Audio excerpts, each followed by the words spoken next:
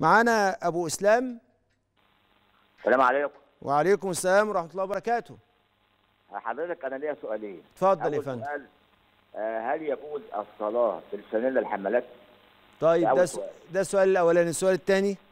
السؤال الثاني بقى كان حضرتك أنا والدتي آه، قرب ال 80 ومسنة وقاعدة الفراش على كرسي متحرك. وقاعدين أنا بغير لها البامبز على طول يعني البامبز فيها على طول ليل ونهار. نعم. موضوع الصلاة ديت ما بقتش تصلي ده فإيه الحل مثلا؟ هل هل إيه اللي بيخليها ما تصليش؟ ما ما تعرفش تتحرك من على السرير. هي قاعدة ما الفراش على تتحركش من على السرير. ما. حدش طلب منها إن هي تتحرك من على السرير خالص. ربنا يديها الصحة ويبارك لها وإن شاء الله تكون آه، يكون ده كله في ميزان حسناتها اللي هي بتتحمله ده. ده ربنا إن شاء الله ربنا يجعله في ميزان حسناتها ويجمع لها ما بين تمام الأجر والعافية. خليني أجاوب على حضرتك. السؤال الثاني الأول وبعدين أروح للسؤال الأولاني. السؤال الثاني آه تفضل هي وتغير لها بامبرز وممكن وتتيمم لكل صلاه تتيمم يعني إيه؟ يبقى جنبها حتى ولو زلطة. لو حتى منديل عليه فيه تراب تروح خبطة عليه كده خبطة لإيديها وخبطة لوشها. وبس. خبطة للوجه وخبطة لليد وبس.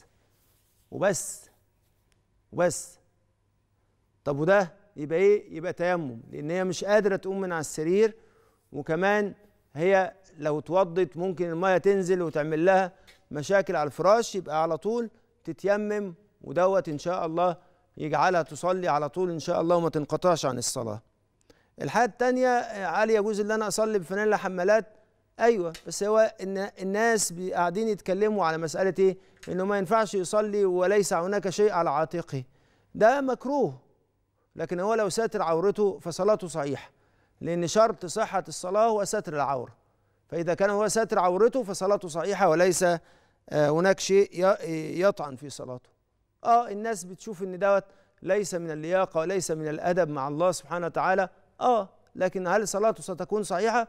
ستكون صحيحة والأولى أن يحسن ثيابه بما يحب أن يلقى به مولاه سبحانه وتعالى.